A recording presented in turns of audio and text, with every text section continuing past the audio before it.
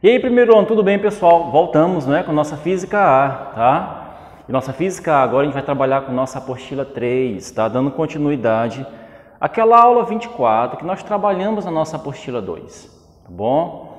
Então, significa que o nosso conteúdo novo, ele começou lá no segundo bimestre, tá certo? finalzinho da apostila e vamos dar continuidade hoje, tá bom? Vamos falar mais sobre dinâmica, não é? Eu falei para vocês que dinâmica, na verdade, é a causa dos movimentos, não é? É o estudo da causa dos movimentos. No caso, é o estudo das forças de interação entre os corpos, tá bom? Na nossa aula 25 e 26, dando continuidade, nós vamos trabalhar um pouquinho as leis da dinâmica, tá? Lógico, é, são, são chamadas de leis de Newton. Por que, professor? São chamadas de leis de Newton porque na verdade foi Isaac Newton que enunciou essas três leis para a interação entre corpos, tá bom? Inclusive o princípio fundamental, que é a nossa aula de hoje. O princípio fundamental da dinâmica, ele é conhecido como a segunda lei de Newton, tá? Então, hoje, para que a gente não possa trabalhar de uma por uma, eu vou trabalhar para vocês logo as três leis hoje, para que nós possamos conhecer melhor, tá bom? Vamos aplicar cada caso, tá? E vamos trabalhar nossa apostila, ok? Depois a gente trabalha o nosso conteúdo real, que é a nossa segunda lei, tá bom? Bom, para o nosso entendimento, é, a dinâmica, ela na verdade estuda a causa desses movimentos, né? Nós temos as consequências, que é o movimento em si, a causa são as forças aplicadas a um corpo. Quando esse corpo entra em movimento, aí sim é produzida uma consequência. Tá bom? Então, para que a gente possa estudar essas forças de interação entre os corpos, Isaac Newton enunciou três leis, tá? Para que você possa entender melhor. A primeira lei. A primeira lei que é chamada lei da inércia, né? Professor, o que é na verdade inércia? Inércia, quando você pensa em inércia no nosso dia a dia, é quando o indivíduo ele está parado, né? Em repouso, mas nem sempre em repouso bom? A inércia também é conhecida como movimento único. Ou melhor, se uma pessoa está em inércia, ou ele está parado, em repouso, tá bom? Ou ele está no movimento constante, uma velocidade constante, tá bom? Ou melhor, ele está no movimento né, único, ele não sai daquela, daquele, daquele movimento dele diário, né? Então ele tá, está numa inércia, tá certo? Então, o que, que enuncia a primeira lei de Newton? Ele fala: olha, é o seguinte: todo corpo que está em repouso tende a permanecer em repouso. Todo corpo que está parado tende a permanecer parado. E todo corpo que está em movimento tende a permanecer em movimento. Tá bom? A não ser que exista uma força, tá? Uma força de interação que modifique esse movimento, tá? Então, por exemplo, se uma pessoa está parada em repouso, se essa pessoa sofre uma força externa, o que acontece? Ela entra no movimento, só que ela sai da inércia, tá? Já não, já não existe a inércia para ela, tá bom? Ou melhor, a inércia, na verdade, é o movimento contínuo dessa força. Onde existe inércia, a força resultante é igual a zero. Professor, quer dizer que não existe forças na inércia? Existe. Existe força, só que elas se anulam. Tá bom? Mesmo com o corpo em movimento, o que que acontece? Você pode observar que com o corpo em movimento, se a força resultante é igual a zero, significa o quê? Que elas se anularam. Tá? Então, ali, mesmo você parado ou em movimento constante, sempre vai existir uma força sobre o seu corpo, tá? Você retirando a ideia do vácuo, tá? Lógico, como nós não estamos no vácuo, sempre vai existir uma força sobre o corpo, tá? Então, por exemplo, a lei da inércia, ela fala desse elemento, tá bom? Que a nossa força resultante é igual a zero quando essa inércia existe. Por exemplo, vou lhe dar um exemplo. Se um carro está em alta velocidade, né? e o motorista está sem um cinto de segurança, ele não colocou o cinto de segurança, se esse carro freia de repente, se eu frear o carro de repente, ou se eu bater esse carro em um obstáculo, o que acontece? O carro ele vai reduzir a velocidade dele. Eu te pergunto, o motorista, ele reduz essa velocidade junto com o carro? Lembre-se, o motorista é um corpo, o carro é outro. Certo? Então, automaticamente, se você está sem o cinto de segurança, se o carro freia bruscamente, a tendência é que você vá para frente, né? Porque se eu aplico uma força para trás, se eu tento parar o carro, o corpo do motorista vai para frente, porque o motorista continua em movimento, tá? Então, esse motorista aqui, ele continua o movimento dele, porque ele estava em uma inércia, tá? Você pode observar que a única força que existe aqui é sobre o carro, tá bom? Então, o motorista não teve nenhuma força sobre o motorista, então esse motorista tende a continuar em movimento. Ou melhor, lei da inércia, tá certo? Por exemplo, é, um cavaleiro andando em alta velocidade em cima de um cavalo, né? Cavalgando. Se esse cavalo trava, o que, que acontece com a pessoa que está sobre ele? Você pode perceber que essa pessoa ela saca. Não é? Por que, professor? Porque o corpo que, que parou foi o corpo do cavalo. O seu corpo que está sobre ele ainda continua em movimento. Lei da inércia. Tá? Quem está em movimento tende a permanecer em movimento. Quem está parado tende a permanecer parado, a não ser que haja uma força externa. É? Isso abre, uma, abre ou dá abertura para a nossa segunda lei. Tá certo? Então, essa é a lei da nossa, essa é a lei da inércia, onde esse corpo, a força resultante sobre ele é igual a zero. Lembre-se que força, ela sempre vai existir sobre um corpo. Quando a força resultante é igual a zero, é porque, na verdade, as forças que estão sobre aquele corpo, elas se anulam. Ok? Então, por exemplo, o cinto de segurança do carro, ele obedece qual lei? O cinto de segurança, ele obedece à minha primeira lei. Tá? Por quê, professor? Porque o cinto de segurança, ele coloca você junto ao corpo do carro. Se o carro para, o seu corpo para junto com o carro. Tá? Então, o cinto de segurança, ele obedece à primeira lei. Tá bom? Ou melhor, ele mantém a tua inércia dentro do carro. Tá certo? Bom, a nossa segunda lei, o que, que a segunda lei fala? A segunda lei ela fala de uma suposta força resultante. É o princípio fundamental da dinâmica, tá? Isso faz com que ela seja uma das, uma das leis ou a lei mais importante que exista, tá bom? Bom, nesse caso aqui, ele fala que a força resultante sobre um corpo, tá? É a massa dele multiplicado pela aceleração que ele adquiriu. Tá bom? Ou melhor, sobre um corpo não existe só uma força. Se eu puxar esse corpo, sobre ele existem várias forças, tá certo? Então, somando todas elas, eu vou gerar uma força resultante.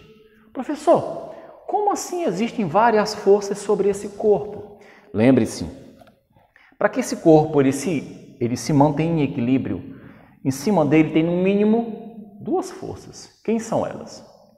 Bom, nós temos o peso desse objeto, tá? Nós temos o peso dele. Automaticamente nós temos uma reação, a reação da superfície.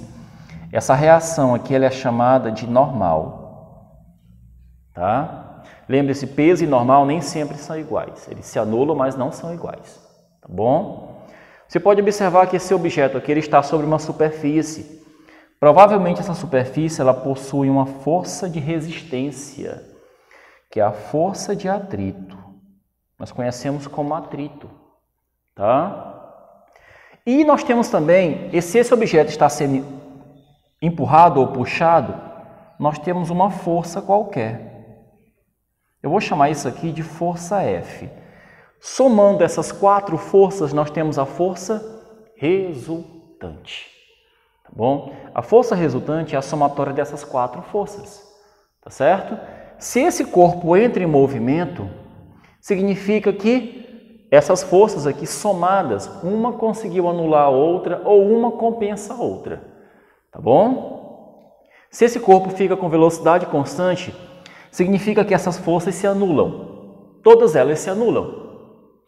Se esse corpo está parado, as forças se anulam, tá? Mas se esse corpo entra em movimento e a velocidade não é constante, significa que essa força resultante é quem? Essa força resultante é a somatória dessas forças, de todas elas, tá? É a somatória delas, força F1, força F2, tá? É a somatória de todas elas. E essa somatória aqui é igual à massa do corpo multiplicado pela aceleração adquirida. Tá certo? Então, essa é a nossa segunda lei. Ela fala de uma suposta força resultante. Por quê? Porque Isaac Newton citou que todos os corpos, tá? Eles dependem de, no mínimo, no mínimo, uma ou duas forças. Tá bom? Então, essas forças elas tendem a somar, subtrair ou se anular. Tá certo? Quando elas se anulam, o que que acontece? Nós temos uma inércia. Tá certo? A nossa inércia é quando nós temos uma força resultante igual a zero. Ok? Isso também dá uma abertura para a nossa terceira lei. A terceira lei ela fala sobre ação e reação. Bom, toda ação produz uma reação, tá certo? Se eu empurro um objeto, esse objeto aplica a mesma força sobre o meu corpo, tá bom? Bom, coloquei o desenho de um avião para vocês aqui. Porque na verdade, gente, a terceira lei ela enuncia o movimento dos corpos. Por exemplo, esse avião ele só consegue se movimentar em alta velocidade porque as turbinas dele produzem uma ação, né? produzem uma força para trás e o, mov e o movimento do avião é para frente.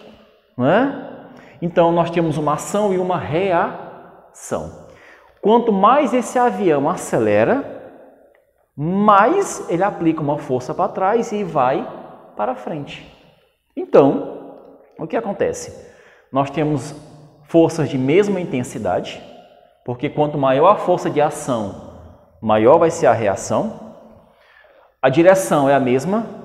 Professor, por que, cara, direção é a mesma? Lembre-se, direção é horizontal ou vertical. Esse avião aqui, ele está na horizontal. Então, tanto a ação quanto a reação estão também na horizontal. Ok? Sentido. Os sentidos são diferentes, lógico, os sentidos são opostos. Ou melhor, se eu aplico uma ação para trás, a minha reação é para frente. Se eu apliquei uma ação para a esquerda, a minha reação é para a direita. Então, os sentidos são opostos. Professor, sentido o que é, cara? é, direita, esquerda, para cima, para baixo. Tá? Por exemplo, se eu caminho para frente, é porque eu estou aplicando uma força para trás, sobre os meus pés. Né? O seu ato de caminhar é você aplicando uma força no chão para trás e você, o seu corpo vai para frente. Que lei é essa? Terceira lei, ação e reação. Exemplo 3. Imagine um nadador uma pessoa nadando, né? Profissional. O que, que acontece? O cara está nadando, ele está indo para frente, só que as braçadas vão para, para trás, né? Esse nadador aplica uma força para trás e o corpo dele vai para frente. Ok? Que lei é essa? Ação e reação.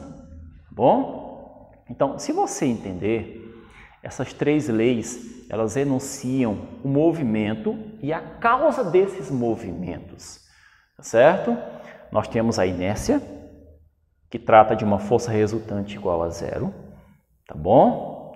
Se por acaso essa força for diferente de zero, a inércia não existe mais, tá certo? A inércia, ela tem dois pontos importantes. Ou a velocidade ela é constante, tá bom? Lembre-se, a inércia não significa que eu estou parado, eu também posso estar em movimento. A velocidade é constante ou a velocidade é igual a zero. Velocidade igual a zero, eu estou em repouso. Tá bom?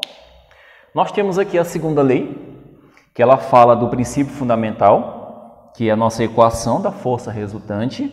Força resultante é massa multiplicada pela aceleração.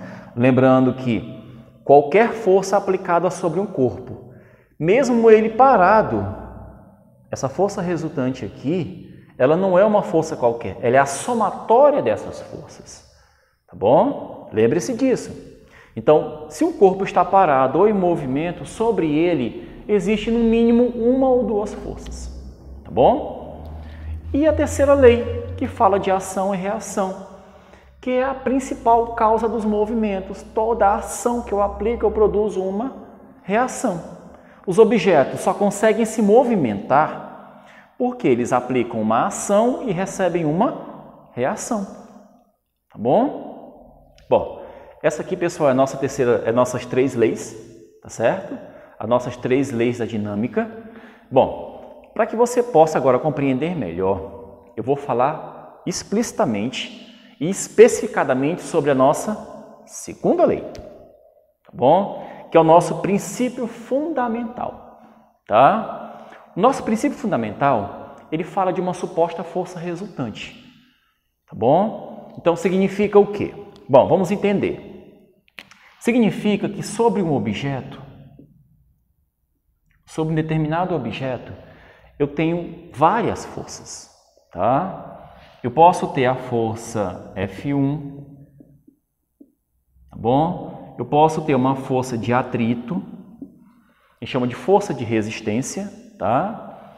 Eu tenho o peso desse corpo, eu tenho a reação da superfície, tá bom? Eu posso ter uma força inclinada que eu vou chamar de F2, tá certo?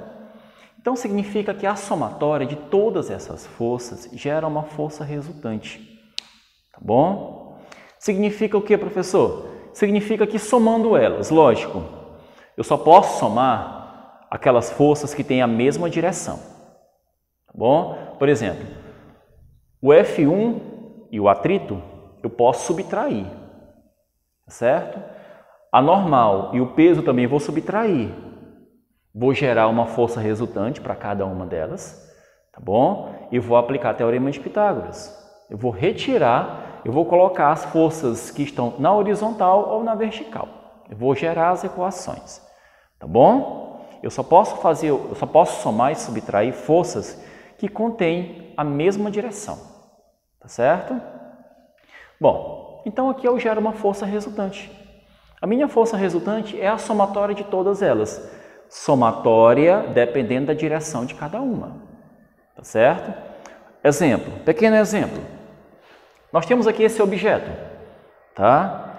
Esse objeto aqui, eu vou aplicar sobre ele, eu vou, eu vou tirar a minha força F2, tá certo? Eu vou colocar esse objeto aqui, ele está apoiado, ok? Aqui eu tenho quem? Aqui eu tenho um peso. Vamos supor que o peso dele equivale a 12 newtons, ok? A normal equivale a 6 newtons. Lembrando que peso e normal nem sempre são iguais, não são a mesma coisa, tá? Pode ser uma ação e uma reação? Não, tá? Não. Porque para ser essa ação e reação, tem que existir um movimento, tá? Aqui é um equilíbrio. Bom, vamos supor que a minha força de atrito aqui, ela vai ser 20 newtons, bom? E a minha força de ação, ela vai ser 28 newtons, tá bom?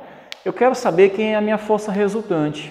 O que, que eu vou fazer? Ah, professor, eu vou só somar. Não, não é simplesmente somar, tá? Você só pode trabalhar com as forças que estão na mesma direção, tá bom? Então, nesse caso aqui, eu vou gerar uma nova situação. Esse objeto aqui, eu vou reduzir essas, eu vou reduzir essas quatro forças em duas, Uma na horizontal e uma na vertical. Então, por exemplo, esse objeto aqui na vertical, quem é a maior força que eu tenho na vertical? É o 12. Então, como são opostas, fica 12 menos 6. Então, na verdade, a minha força aqui, olha, ela vai para baixo, porque ela é mais pesada, né? Ela é maior para baixo. Então, minha força, eu vou chamar de força, força 1, ela é 6 newtons. 12 menos 6, 6 newtons. A força F1, a força F1 e a força de atrito também são opostas. Então, você pode observar que a maior é o meu F1. Então, no caso aqui vai ficar 28 menos 20, vai dar o quê? Vai dar 8 newtons. 8 newtons. Tá bom? Eu vou chamar de força resultante 1, força resultante 2. Pessoal, vocês observaram que formou um ângulo de 90 graus, não foi? Se formou esse ângulo de 90 graus, como é que eu vou calcular a força resultante entre esses dois? Você vai aplicar a teorema de Pitágoras, né? Bom, então significa que a minha força resultante aqui é igual a raiz de 6 ao quadrado mais 8 ao quadrado, né? Então minha força resultante minha força resultante vai ficar raiz de 100, tá bom? Vai ficar 36 mais 64 fica 100. Significa que a minha força resultante ela vale 10 newtons. Professor, essa força resultante vai puxar esse objeto para onde?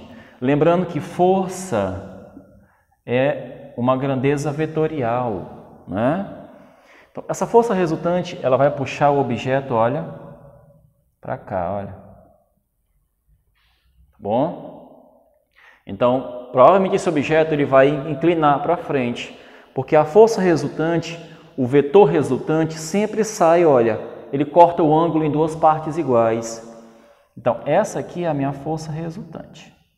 Tá bom? No caso, vale 10 newtons. Ok, gente? Então, essa nossa aula aqui, ela tenta citar isso para vocês essa questão da força resultante é, como um elemento do princípio fundamental da dinâmica, tá bom? No caso, nossa segunda lei, tá certo? Eu retorno com vocês na próxima aula para que a gente possa trabalhar as questões da aula 25 e 26, ok? São questões muito simples, só que você vai ter que aplicar o quê? Você vai ter que aplicar a nossa segunda lei, tá bom? Que no caso é massa multiplicado pela aceleração. Tá certo, pessoal? Então, um forte abraço e até a próxima aula. Valeu!